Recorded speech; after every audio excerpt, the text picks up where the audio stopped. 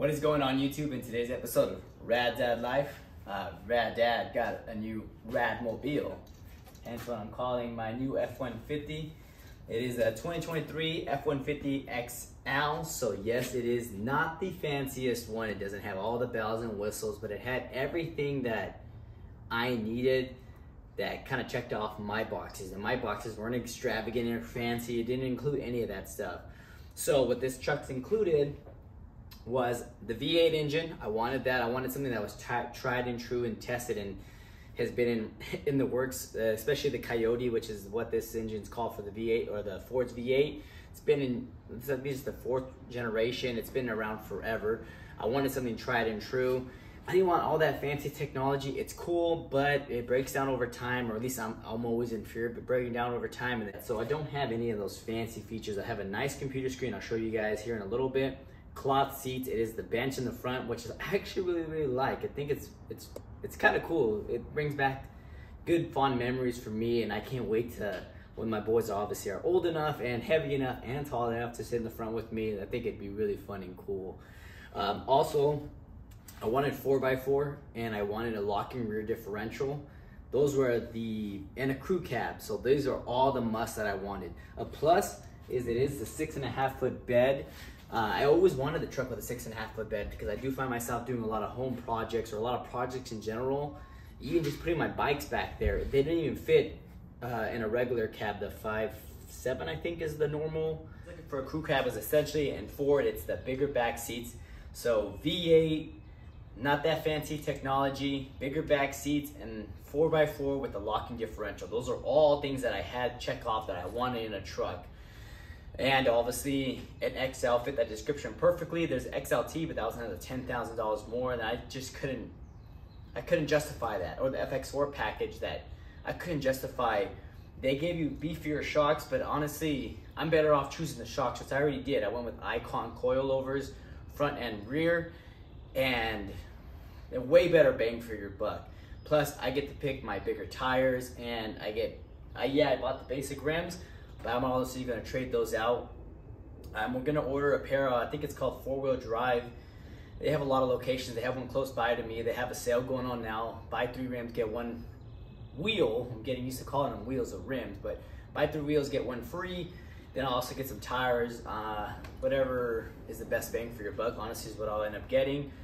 And already that tr this truck will already been leveled with coilovers, better suspension than what it comes with stock.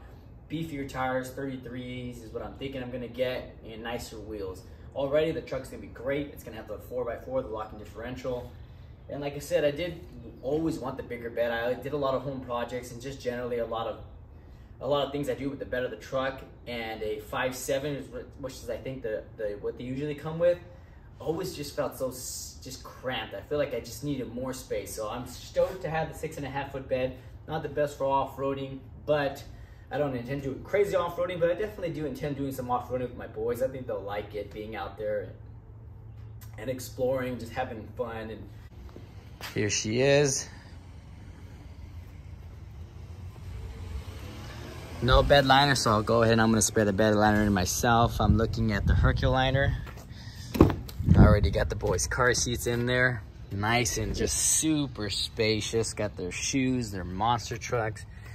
Obviously, always got to have your emergency life-saving equipment. And here, here, you know, QuikClot, all kinds of stuff in there for life-saving emergencies. It did come, it did came with the vinyl, which is kind of cool. I'm, I'm still debating if I want to do a liner on top of the vinyl just to protect the initial floor it seems kind of foolish because this is obviously waterproof vinyl, so it's kind of foolish to put something on top of this, but I don't know. Something about makes me want to put the Husky liner so if water spills, at least it's like, it's contained, I guess. Here's the front, cloth seats, nice, comfortable.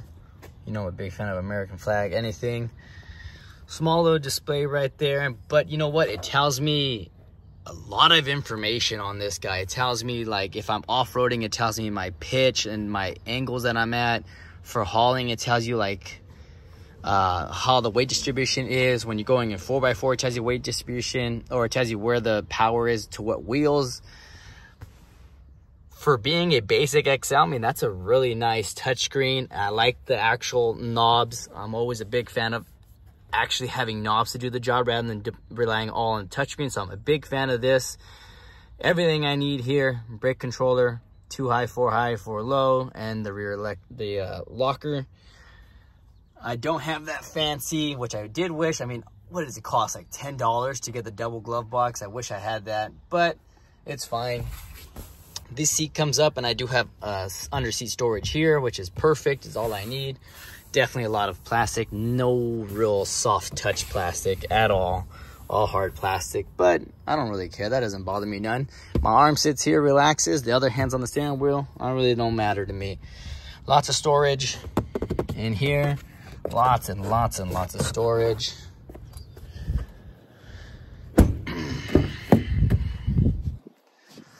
super high ceilings for any adult. This is the 6040, so these obviously are not gonna come up because I have the car seats, but on the very end, it does come up just in case I need some storage. But just a great amount of storage everywhere. You have a little uh, drop down cubbies for some drinks and a USB-C and a regular USB and the car heater charger old school port the middle seat, it doesn't recline, so it sits pretty upright. Definitely not very comfortable for an adult, but for kids or really small adults like my mom, who's pretty tiny, it's actually not too bad. The tailgate isn't dampening, isn't isn't dampening, dampened, damp doesn't dampen. I don't know, it's hard to say, but it's uh, yeah, it definitely you need to catch it. But I mean, whatever. I don't need that fancy stuff. I also did buy a cold air intake. Um, I saved a lot of money on the coilovers because I did buy an open box one. American Trucks did have pretty great customer service and pretty great deals on the open box. They gave a great description with pictures of everything that's included, of the actual item itself. So I felt really confident in purchasing the coilovers even though they were open box. But with that money I saved, I probably should have saved it, but instead I rolled that money over to a cold air intake the tie downs that you attach here. So I'll go ahead and I'll put a couple pictures up of the truck, different angles. Overall, I love the truck. There's always things you're always gonna want, um, but it's all about making, at least where I am in my life now, is making smart decisions. I could have sprung for the top end, but the payments on this, the deal that I got, 1.9% interest, honestly, it just all made sense for me to buy this and not put anything down, be comfortable with the payments, and be able to buy coilovers, a leveling kit, or coilovers that level the truck with rear with tires and wheels and a cold air intake and the bed liner. With all that stuff, my truck's gonna be exactly what I want with any without any of that fancy stuff that I'm always worrying that can break. If you guys have any questions about the truck, why I chose the truck, why I went from the Ram to the Ford, leave them in the comments. I do read them all, I do reply to them all. We'll do some reviews and we'll walk through everything getting put onto the truck, hopefully within the next two, three weeks. As always, have a great day, guys.